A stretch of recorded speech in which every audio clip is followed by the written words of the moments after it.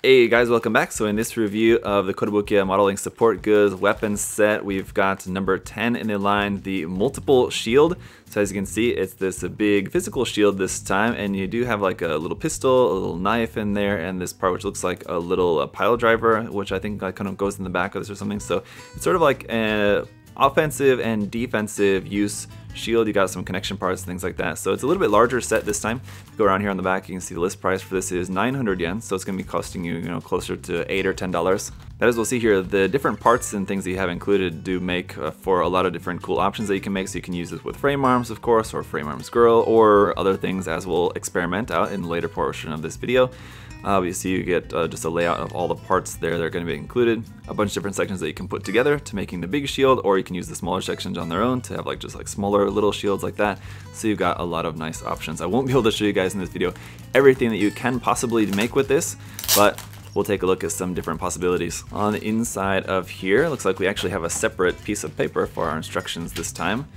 Uh, and it's just basic parts list here and instructions all of that, kind of how to mount the weapons and things onto the back of the shield. That looks pretty cool. How to uh, mount the shield onto your different kits all that. It's pretty self-explanatory, but anyway, we have uh, actually two different color runners this time, which is pretty rare. Usually they're just molded in one color, unless of course there's some clear effect parts or something, but as you can see, we've got a darker gray and a lighter gray.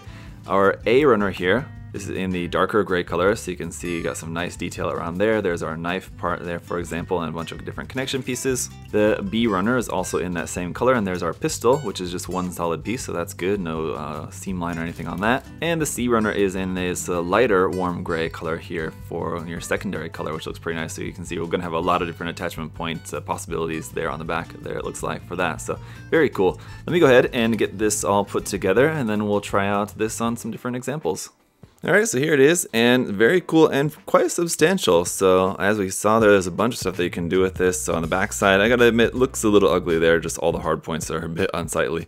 Not really a whole lot that you can do with that, except maybe if, if you want to like cover this up with pieces of pla plate, for example. But on the front though, it does look very cool. So you have basically a, a few main sections. Uh, down here you have this gun attachment that you can't change the angle of, but you can just rotate that side to side, although you kind of just want it to be straight like that, right?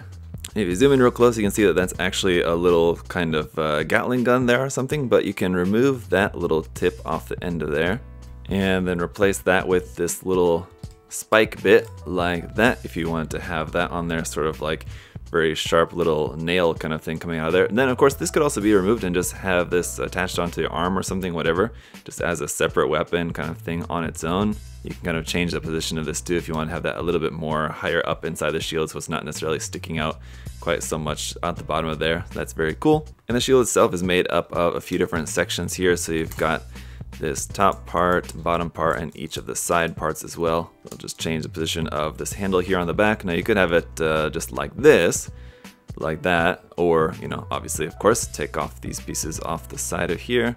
And you've got this piece here that you can stick in the middle between them to make this into your small type shield just little guy like that. And then we do have another handle. So you got a, a, few different handles that you can use for kind of any of these, but this just small, simple handle there like that, that you can then have attached onto here. Like so, you can change the angle of that, you can rotate that, have that up or down. And you also have two of this type of connection piece as well too, which is basically just plugging onto there and this is meant to just attach onto your arm so you can open this or close it and it's not necessarily as far as I know meant to attach onto any particular arm so you know has I don't know how well this is going to hold on to the arm, for example, of whatever you're, you're sticking this onto, but that will just, that's just meant to close around the arm, but it probably won't be a very tight fit unless you modify this or something in order to make it, you know, specifically fit onto the arm that you want it to fit on, but that is an option. You do have two of these as well, so if you wanted to have the shield split up and have like one on each arm, you've got two of this type of connection. And there's a top part of the shield that we took off there as well. I mean, you could have this on its own using that uh, handle connection piece. So like this one that I've got here on the back, uh, this one is the same type of handle piece uh, that I stuck on there. The smaller one before, so you've got two of these basically. So you could have this onto there for just a smaller type shield or stick these back together without the two uh, side parts need to once again readjust this connection piece on the back to hold them together. But then you could just have this longer, thinner shield like that, for example, uh, and then keep this one off to the side as a separate piece. But I mean, aside from these different shield parts that you can mix and match and do all sorts of fun stuff with, you do also have a couple of other weapons thrown in there for good measure. So we've got this uh, just combat knife here, which is just very simple like that, just one piece, but then we have this connection piece for it for you to be able to mount this onto wherever you just plug that onto the back skirt or the side of the leg or wherever you want to plug that. And then the same thing here for this tiny little pistol as well too, which is very small. I can already tell that for 100 scale kits this is going to be too small, definitely, with the knife. I mean, the shield I think is going to be probably a good fit for 100 scale type stuff, but this one definitely looks uh, very, very small. So if you're trying to pair this up with anything 100 scale, probably not going to be quite right, but the connection piece for this one just plugs right onto there like that, and then you can plug this onto wherever you want on the kit for storage. So you have a lot of different stuff, and then we also have a couple of more little connection pieces here, just little male-to-male -male connection pieces that you can use for however you might need to use those. But as you can see, there's a lot of different stuff that you can do with these. I'm only going to be able to show you a few different options, but let me go ahead and do that. I'll try to show you, give you guys an idea what you can do with this stuff. So while the one thing that's great about this set is that you have a lot of versatility with the shield and how you want to use that, and then you have the knife and the handgun weapons in there as well. You get a lot in this. Uh, on the downside, though, holding the shield can be a bit tricky.